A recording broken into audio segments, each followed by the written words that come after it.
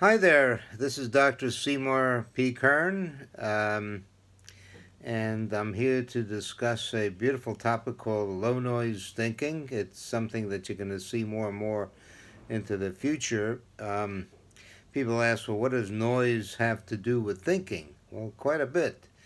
Uh, but we're not just talking about audio noise, we're also talking about noise in the general sense. It could be electronic, it could be emotional noise. It could be noise, basically stuff you don't want in your head, stuff that, that you don't want. It's it's extraneous material and uh, or the volume is too high, stuff like that. So anything that's not wanted is noise, and anything that's wanted is the opposite of noise. It's quiet.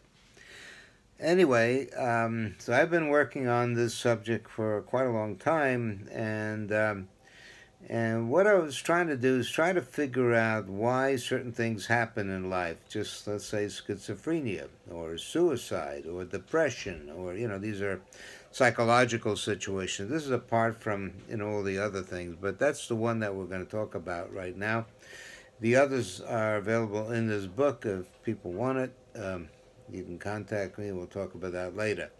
In any case, if you like what you hear, please uh, press the, the button, uh, thumbs up or thumbs down, whichever way you want to go. Um, uh, low noise thinking will take care of it, but good. Um, so, um, so to begin with, on, from an audio point of view, um, if you were at an airport with the roar of the engines, it would be impossible for you to hear a pin drop. Yet if the noise of the room or the ambient noise uh, goes down sufficiently enough, you can actually hear a, a, pin drop. And actually, it could be so loud that it could be deafening. Uh, depends on how, you know, quiet the room is. So if you come from a quiet room, um, then that would be the situation.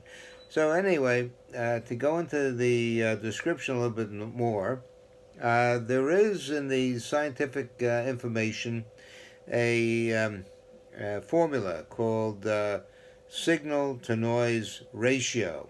A ratio meaning you have a numerator and a denominator. In the numerator, or the top part of the ratio, you have the signal.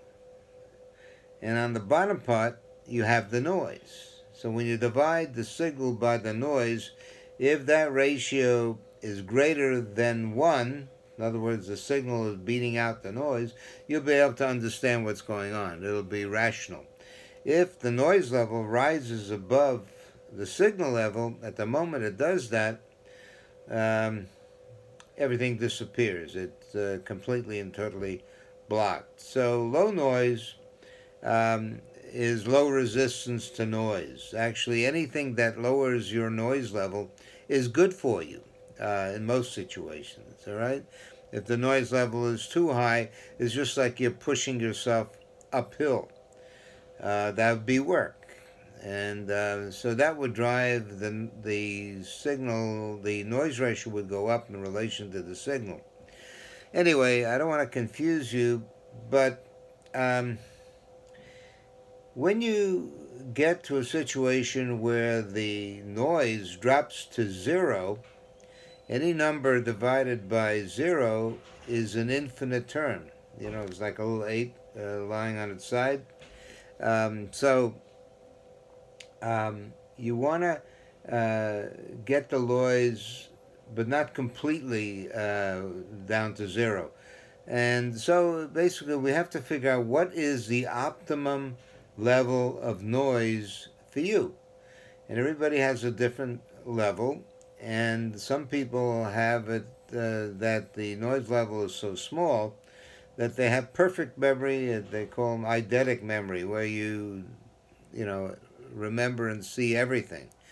Um, people with high IQs. Uh, uh, and in a suicidal patient, the noise drops down to so low that uh, you get information overload, and the suicidal patient will go into overload and he can't control himself anymore, and the only way out is uh, you know what. So um, we want to make sure that we're function- functioning at the optimum level of the signal to noise ratio. Again, too high is too resistant, uh, too low is a short circuit, uh, basically information overload, and that's the end of it. So, anyway, that's a brief discussion on low noise thinking. Um, and if you have any questions, uh, feel free to call me or contact me uh, uh, via the site, um, or you can email me directly. I'd be happy to answer any questions.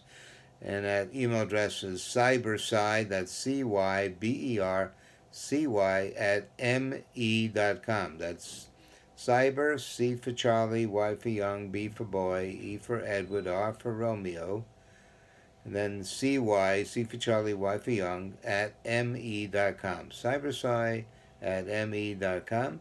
And we hope you have a beautiful, noise free day and enjoy life. And life is beautiful. Thank you.